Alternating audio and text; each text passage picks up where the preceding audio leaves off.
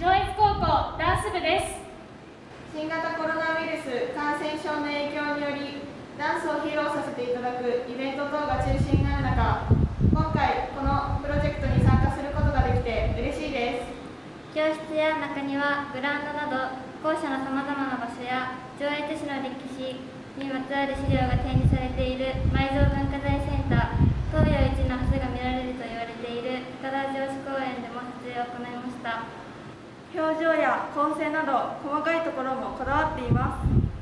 ラストは88名のサッカー部員にも協力してもらい一緒に踊ることができました。日々協力してくださっている方々に向けて感謝の気持ちを込めて部員全員全力で踊ります。それでは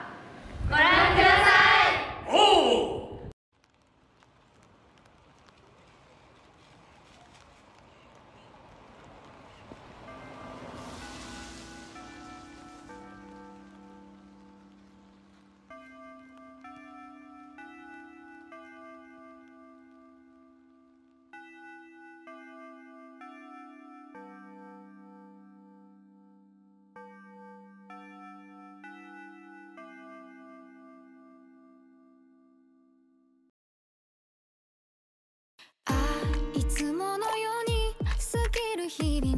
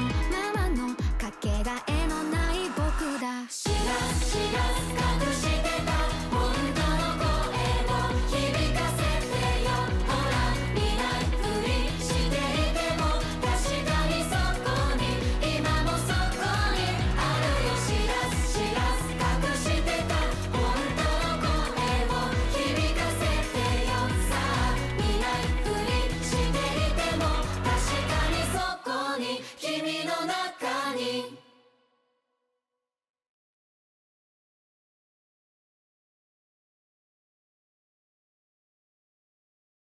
らしら